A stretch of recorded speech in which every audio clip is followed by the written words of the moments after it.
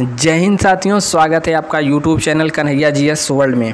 दोस्तों, यदि आप भी बीपीएससी की तैयारी करने के बारे में सोच रहे हो, या फिर आपको जानना हो कि बीपीएससी किस प्रकार से एग्ज़ाम लेता है, इसका एग्ज़ाम पैटर्न क्या है, सिलेबस क्या है, और इस बार यानी कि अड़सठवीं बीपीएससी में एक बहुत बड़ा चेंज देखने को मिला है, या बदलाव आखिरकार क्या किया है, इन सब के बारे में यदि आप भी डिटेल से जानना चाहते हैं तो वीडियो को शुरू से लेकर के लास्ट तक ज़रूर देखिए, आपका एक भी डाउट नहीं बचेगा। तो चलिए, और दोस्त, यदि आप चैनल पे पहली बार आए हैं तो आप में सब्सक्राइब वाला बटन होगी, उसको दबा देना है, और एक घंटा का निशान आएगा, उसको भी दबाते हुए चलना है, और लाइक के बटन को भी दबा देना है, और वीडियो जैसा भी लगे, आप नीचे एक बार कमेंट करके ज़रूर बताएँ वीडियो कैसा लगा। अभी हाल ही में अड़सठवीं बीपीएससी का जो एग्ज़ाम पैटर्न यानी कि वैकेंसी भी आ चुकी है, टोटल दो सौ इक्यासी पद इसमें दिया गया है तो उसके बारे में भी चर्चा करेंगे। देखिए, बीपीएससी यानी कि बिहार पब्लिक सर्विस कमीशन, जो कि बिहार का सबसे बड़ा एग्ज़ाम माना जाता है राज्य का, इसमें परीक्षा के टोटल तीन चरण होते हैं। पहला होता है प्रीलिम्स। एक एक के बारे में हम आगे डिटेल से चर्चा करेंगे, निगेटिव मार्किंग है कि नहीं, कितने क्वेश्चन आते हैं, कितने पर लगभग सिलेक्शन हो जाता है, सब के बारे में हम चर्चा करेंगे। तो देखिए, पहला चरण होता है बीपीएससी का प्रीलिम्स, यानी कि प्रारंभिक परीक्षा। इसमें टोटल डेढ़ सौ क्वेश्चन आते हैं और डेढ़ सौ नंबर के रहते हैं। यदि आपका इसमें सिलेक्शन हो जाता है दस गुना के लिस्ट में आ जाते हैं, तब आपको मेंस एग्ज़ाम के लिए बुलाया जाता है। मेंस एग्ज़ाम यानी कि मुख्य परीक्षा, इसमें आपको कापी और पेन पर लिखना होगा, लिखित परीक्षा होगी। इसमें टोटल चार पेपर होते हैं और यह 900 मार्क्स का होता है और इसी से आपकी मेरिट बनती है, ठीक है? मेंस परीक्षा में प्रीलिम्स का कोई भी रोल नहीं रहता, इसका कोई भी नंबर नहीं जुड़ता है। तो मेंस क्लियर करने के बाद ढाई गुना कैंडिडेट को बुलाया जाता है इंटरव्यू के लिए। इंटरव्यू होता है टोटल 120 मार्क्स का। तो 900 प्लस 120 यानी कि 1020 नंबर से आपकी मेरिट बनती है और इंटरव्यू के बाद फाइनली आपका सिलेक्शन हो जाता है। तो चलिए देखते हैं कैसे कैसे क्या इसका सिलेबस है, कैसे होता है। आपको पता होगा अड़सठवीं बीपीएससी का अभी नोटिफिकेशन आ गया है। इसका नोटिफिकेशन डिटेल्स यदि आप पढ़ना चाहते हैं तो हमने अपने Telegram channel Kanhaiya G S world पर उसको डाल दिया है। आप लोग वहाँ से भी जाकर डिटेल पढ़ सकते हैं और बाकी यहाँ पर हम तो बताएँगे ही। टोटल दो सौ इक्यासी पद के लिए वैकेंसी इस बार निकाली गई है 2023 के लिए और इसमें योग्यता क्या रहती है? तो ग्रेजुएसन यानी आपको नॉर्मली बीए बीएससी या फिर इंजीनियरिंग कोई भी नॉर्मल ग्रेजुएसन होना चाहिए या इसके समकक्ष होना चाहिए। इसमें उम्र जो मांगी गई है, एक आठ वर्ष 2022 से आपकी उम्र 20 साल या 21 साल या 22 साल होनी चाहिए। अब तीनों मतलब देखिए कई सारे पोस्ट हैं तो सभी पोस्टों के लिए अलग अलग है। मैक्सिमम के लिए 21 वर्ष आपका होना चाहिए। बाकी आपको नोटिफिकेशन में डिटेल्स मिल जाएगा। फ़ीस की बात करें तो छः सौ रुपया सामान्य लोगों से और बिहार के यदि आप एस टी एस सी हैं तो आपसे डेढ़ सौ रुपया लिया जाएगा और बिहार के महिलाएँ तब भी आपसे डेढ़ सौ रुपया लिया जाएगा। ठीक है? तो यह बेसिक जानकारी हो गई। बाकी आपको हम डिटेल्स टेलीग्राम चैनल पे प्रोवाइड करा देंगे। देखिए, इसमें पहला जो एग्ज़ाम होता है प्रीलिम्स यानी कि प्रारंभिक परीक्षा, इसमें आपको समय दी जाती है दो घंटे और डेढ़ सौ प्रश्न आते हैं और डेढ़ सौ प्रश्न, डेढ़ सौ नंबर के रहते हैं। अब तक इसमें निगेटिव मार्किंग नहीं रहता था, लेकिन इस बार वाली अड़सठवीं बीपीएससी में निगेटिव मार्किंग अनिवार्य कर दिया गया है निगेटिव मार्किंग होगा। लेकिन कितना का होगा, यह अभी क्लियर नहीं है और इसका जो परीक्षा होता है, यह ऑफलाइन मोड में परीक्षा होता है, यानी कि जो ऐसा ओ एम आर सीट होता है, गोला भरने वाला, इस प्रकार से परीक्षा होता है। अब देखिए निगेटिव मार्किंग का इसमें क्या रोल है तो हम थोड़ा नोटिफिकेशन के ऊपर चलते हैं। देखिए, यहाँ पर जब नोटिफिकेशन आप पढ़ेंगे तो यहाँ पर लिख दिया है, प्रारंभिक परीक्षा में गलत उत्तर के लिए नकारात्मक अंक, यानी कि निगेटिव मार्किंग लागू किया जाएगा। अब कितना किया जाएगा तो यहाँ पर आप देख सकते हैं यह इसमें अभी उम्मीदवारों यानी कि हम सबका जो भी इसको अप्लाई करेंगे, उसका मंतव्य, यानी उनका मन लिया जा रहा है कि निगेटिव मार्किंग कैसे किया जाए। यहाँ पर देख सकते हैं, आप तीनों चरण लिख दिया है तो तीनों चरण का हिंदी अनुवाद भी हमने यहाँ पर कर लिया है। ठीक है तो यहाँ पर लिखा है, तीनों में से कोई एक ही देखिए यहाँ पर कह रहा है कि इंडिका, यानी कि कालम 16 में निम्नलिखित तीन बिंदुओं पर अभ्यर्थी का मंतव्य लिया जा रहा है तीनों में से किसी एक विकल्प का चयन करना होगा। जब आप फार्म भरेंगे तो उसमें सोलहवें कालम में आपको यहाँ पर दिया जाएगा कि आप किस प्रकार से निगेटिव मार्किंग चाहते हैं। तो देखिए, पहला क्या है?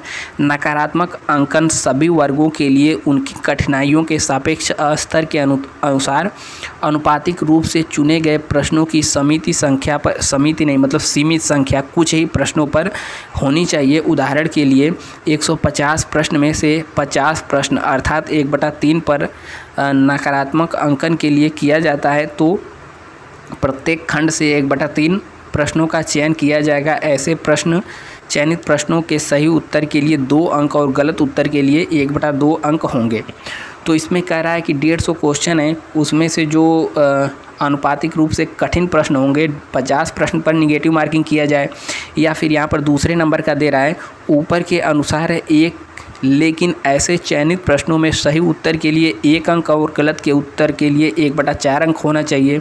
या फिर आप तीसरा चाहते हैं कि सभी प्रश्नों पर समान रूप से नकारात्मक अंकन किया जाना चाहिए। इस स्थिति में सही उत्तर के लिए एक अंक। यानी कि जो निगेटिव मार्किंग है, अभी निगेटिव मार्किंग तो होगा, ये तो कन्फर्म है। लेकिन तीन में से कैसा हो, यह अभ्यर्थियों से पूछा गया है। तो यहाँ पर तीसरा वाला जो कह रहा है कि सभी के लिए एक अंक मिले और एक बटा चार निगेटिव मार्किंग रहे, क्या ऐसा भी किया जाए? तो इन तीनों में से कोई एक आपको चुनना है। ठीक है? लेकिन निगेटिव मार्किंग होता है होगा, इतना कन्फर्म है, आप जान लीजिए। ठीक है? तो देखिए, हमने प्रीलिम्स एग्ज़ाम के बारे में बता दिया। अब बढ़ते हैं मेंस प्रीलिम्स हमारा हो गया क्लियर अब पढ़ते हैं मेंस की तरफ़। तो देखिए मेंस में टोटल चार एग्ज़ाम होते हैं, ठीक है? चार एग्ज़ाम मतलब चार पेपर होते हैं।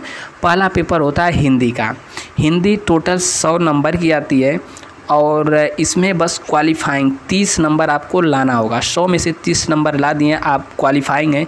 इसका कोई भी नंबर इसमें नहीं जुड़ता है, ठीक है? केवल क्वालिफाइंग होता है। उसके बाद होता है, पहला पेपर होता है, दूसरा पेपर होता है G S one G S one तीन सौ नंबर का होता है और तीन घंटे का टाइम इसमें दिया जाता है। ठीक है, इन सभी पेपरों में तीन घंटे का टाइम दिया जाएगा। उसके बाद होता है G S paper number two अब इसमें क्या क्या सिलेबस आता है, उसके बारे में भी हम अभी आगे चर्चा करेंगे।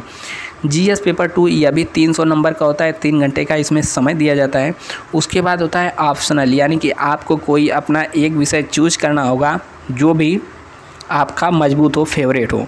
अब कई सारे लोग यहाँ पर कहते हैं कि हमने ग्रेजुएशन में मान लीजिए भूगोल लिया है तो क्या इसमें ऑप्शनल चेंज कर सकते हैं? हम इतिहास चाहें तो ले सकते हैं। जी हाँ ले सकते हैं। कोई भी ऑप्शनल आप ले सकते हैं, जितना भी विषय दिया रहेगा उसमें से। तो ऑप्शनल पेपर भी तीन सौ नंबर का होगा, तीन घंटे का टाइम दिया जाएगा। टोटल होगा कितना? नौ सौ मार्क्स का नौ सौ मार्क्स से ही मेरिट बनेगी प्लस एक हज़ार बीस आपका इंटरव्यू का इसमें जोड़ा जाएगा, ठीक है? अब देखिए, हमारा मेंस में भी आपने क्लियर कर लिया। अब देखिए मेंस के लिए कितना बुलाया जाता है? प्रीलिम से इस बार लिखा है कि प्रीलिम से दस गुना लोगों को मेंस के लिए बुलाया जाएगा। अब मेंस में जितने लोग पास होंगे, इसका ढाई गुना, यानी कि ढाई गुना इंटरव्यू के लिए बुलाया जाएगा। इंटरव्यू टोटल होगा 120 मार्क्स का, यानी कि 120 नंबर का होगा। टोटल जो मेरिट लगेगी 900 यानी कि 900 मेंस का 120 इंटरव्यू का। टोटल 1020 नंबर पे आपकी मेरिट लगेगी। इसमें से ही आपकी मेरिट लगे सिलेक्शन होगा, ठीक है? अब देखिए कितना नंबर पे होता है। तो यह तो आगे की बात हो गई, हम बाद में बात करेंगे, ठीक है? देखिए प्रीलिम्स में जनरली क्या होता है? इसमें प्रीलिम्स में जनरली सौ नंबर से ऊपर पर ही मेरिट बनता है। इस बार तो जनरल वालों की 113 के लगभग गई है। तो मान के चलिए, इस बार निगेटिव कर दिया तो 100 के करीब यदि आप लाएँगे 100 110 तब आपका सिलेक्शन हो सकता है। अब देखिए, यहाँ पर सिलेबस की बात कर लें। यहाँ पर प्रारंभिक परीक्षा यानी कि जो प्रीलिम्स के लिए है, उसमें जो सामान्य अध्ययन है उसका सिलेबस है। जनरली क्या होता है कि जैसे यूपी हो गया एमपी हो गया, अन्य राज्यों में प्रीलिम्स में दो पेपर होते हैं। पेपर एक पेपर दो। लेकिन बिहार पीसीएस में केवल एक ही पेपर होता है प्रीलिम्स का। तो इसमें देखिए क्या क्या पूछा जाता है? सामान्य विज्ञान, यानी कि इसमें राष्ट्रीय तथा सामान्य विज्ञान, अंतर्राष्ट्रीय महत्व की समसामयिक घटनाएँ, यानी कि करंट अफेयर्स भारत का इतिहास, बिहार के इतिहास की प्रमुख विशेषता। इसके अलावा सामान्य भूगोल से बिहार के प्रमुख भौगोलिक प्रभाग तथा यहाँ की महत्वपूर्ण नदियाँ, भारत की राज्य व्यवस्था और आर्थिक व्यवस्था, आज़ादी के पश्चात का बिहार की अर्थव्यवस्था के प्रमुख परिवर्तन, यानी कि आज़ादी के बाद बिहार की अर्थव्यवस्था में क्या क्या परिवर्तन हुए हैं। भारत का राष्ट्रीय आंदोलन तथा इसमें बिहार का योगदान, यानी कि इसमें बिहार से संबंधित अधिक चीज़ें पूछी जाती हैं। ज़ाहिर सी बात है, जिस राज्य का रहता है, वहाँ का बिहार विशेष पूछा जाएगा। उसके अलावा सामान्य मानसिक योग्यता को जांचने वाले प्रश्न, जैसे सामान्य विज्ञान के अंतर्गत दैनिक अनुभव तथा प्रेक्षण से संबंधित विषयों सहित विज्ञान की सामान्य जानकारी का परिबोध में ऐसे प्रश्न पूछे जाएँगे, जिसकी किसी भी सुशिष्ट मतलब शिक्षित व्यक्ति से अपेक्षा की जा सकती है। इतिहास के अंतर्गत सामाजिक, आर्थिक और राजनैतिक परिप्रेक्ष्य में विषय की सामान्य जानकारी हेतु विशेष ध्यान दिया जाएगा। परीक्षार्थियों से यह आशा की जाती है, वे बिहार के इतिहास की मुख्य घटनाओं से परिचित होंगे। भूगोल विषय में भारत का बिहार के भूगोल पर विशेष ध्यान दिया जाएगा। भारत तथा बिहार का भूगोल के अंतर्गत देश की जो प्रमुख व्यवस्था है, उसके बारे में चर्चा किया जाएगा। और उसके अलावा पंचायती राज, सामुदायिक विकास, भारतीय योजना के संबंध में जानकारी, भारत के राष्ट्रीय आंदोलन, उन्नीसवीं शताब्दी के पुनरुत्थान के बारे में। और यह सब यहाँ पर प्रश्न यहाँ से प्रीलिम्स परीक्षा में पूछा जाएगा। ठीक है, जितना सिलेबस लिखा है, इसी से पूछा जाएगा। अब बाकी बढ़ते हैं मेंस एग्ज़ाम के लिए। तो मेंस एग्ज़ाम में हमने पहले ही आपको बताया, इसमें जो पहला पेपर होता है हिंदी का। हिंदी का पेपर जस्ट क्वालिफाइंग होता है, यानी कि केवल इसे क्वालिफाई करना रहेगा, सौ नंबर का रहेगा, इसमें मात्र आपको तीस नंबर लाना रहेगा। यह भी लिखित होगा, यदि इसमें, यदि आप सौ नंबर लाएँ सौ में तीस लाएँ तो आप इसमें पास हैं, बाकी इसका कोई नंबर वगैरह नहीं जुड़ता है। दूसरा पेपर होता है यहाँ पर सामान्य अध्ययन। सामान्य अध्ययन में दो पेपर होते हैं जीएस पेपर वन और जीएस पेपर टू, ठीक है? तो जीएस पेपर वन में क्या पूछा जाता है? आधुनिक भारत का इतिहास और भारतीय संस्कृति, राष्ट्रीय तथा अंतर्राष्ट्रीय महत्व की तथा वर्तमान घटनाएँ, यानी कि जो करंट अफेयर में इंटरनेशनल रिलेशन और राष्ट्रीय तथा अंतर्राष्ट्रीय महत्व की वर्तमान घटनाएँ, सांख्यिकी विश्लेषण तथा आरेखन का चित्रण, यह दूसरे पेपर में पूछा जाएगा। अब जो यहाँ पर तीसरा पेपर होगा, इसे कहते हैं जीएस पेपर टू। ठीक है? इसमें क्या क्या पूछा जाएगा? तो भारत की राज्य व्यवस्था भारत की अर्थव्यवस्था और भारत का भूगोल। ठीक है? तो यह सब आप देख सकते हैं, यह सब जीएस पेपर टू में पूछा जाएगा। आप इसे पूछ करके पढ़ लीजिएगा या इसका पीडीएफ हमने टेलीग्राम चैनल पर भी Kanhaiya G S world Telegram channel पर उपलब्ध करा दिया है। बाकी इसको पढ़कर सुनाए लगेंगे तो वीडियो हो जाएगा बहुत लंबा। अब इसके बाद देखिए यहाँ पर मेंस एग्ज़ाम तीसरा एग्ज़ाम यानी कि जो जीएस पेपर वन हो गया, जीएस पेपर टू हो गया। अब जो ऑप्शनल बचता है, ऑप्शनल इनमें से आप एक विषय को चूज़ कर सकते हैं, जैसे कृषि विज्ञान, पशुपालन, मानव विज्ञान, वनस्पति विज्ञान, रसायन विज्ञान, सिविल इंजीनियरिंग, वाणिज्य शास्त्र, अर्थशास्त्र, विद्युत इंजीनियरिंग, भूगोल, भू विज्ञान, इतिहास। आपका ग्रेजुएशन में कोई भी सब्जेक्ट रहा हो, यदि आप इसमें से कोई ऑप्शनल लेना चाहें, तब भी ले सकते हैं। यह ज़रूरी नहीं है कि जो आपका ग्रेजुएशन में है, वही होना चाहिए। इतिहास, विधि, यानी कि प्रबंध, गणित, यांत्रिक इंजीनियरिंग, यानी कि मैकेनिकल इंजीनियरिंग, दर्शन शास्त्र, भौतिकी, राजनैतिक विज्ञान, मनोविज्ञान। उसके अलावा यहाँ पर लोक प्रशासन, समाज शास्त्र, सांख्यिकी, प्राणी विज्ञान, हिंदी भाषा और साहित्य, अंग्रेज़ी भाषा, साहित्य, उर्दू भाषा, बंगला भाषा, संस्कृत, फारसी, अरबी, पाली, मैथिली ठीक है यानी कि चौंतीस विषय दिया गया है। चौंतीस में से कोई भी आप अपना ऑप्शनल चूज़ कर सकते हैं। और यह आपको कब चूज़ करना रहेगा? जब आप फॉर्म भरेंगे, तभी यहाँ पर आपको चूज़ करना होगा। ठीक है तो उम्मीद है अभी तक आप वीडियो देख रहे हैं तो आपको पूरा समझ में आ गया होगा बीपीएससी का एग्ज़ाम पैटर्न क्या होता है सिलेबस क्या होता है। बाकी यह अड़सठवीं बीपीएससी का नोटिफिकेशन है, यदि आप इसको लेना चाहते हैं और डिटेल पढ़ना चाहते हैं, वैसे हमने मोटा मोटी बात बता दी। आपको देखना हो तो टेलीग्राम चैनल से भी इसको ले सकते हैं या फिर डाउनलोड कर सकते हैं, ठीक है। तो उम्मीद है आपको वीडियो बहुत अच्छा लगा होगा, पसंद आया होगा। पसंद आया है तो आपको करना कुछ नहीं है, यहाँ पर बस एक लाइक वीडियो को देकर जाना है और नीचे कमेंट करके बता देना है वीडियो कैसा लगा। बाकी अभी तक वीडियो देखने के लिए बहुत बहुत धन्यवाद। जय हिंद।